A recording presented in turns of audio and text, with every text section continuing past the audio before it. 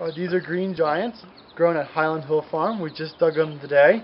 Green giant's a very nice evergreen that grows very fast for you. It's best in full sun can, but can tolerate shade.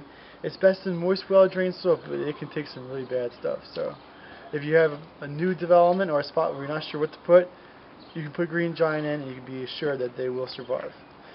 We have them here. They look like they're six to seven. Maybe some of them are almost to the tippy top, eight foot tall.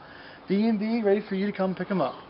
If you would like to call and order, our telephone number is 215 651 8329.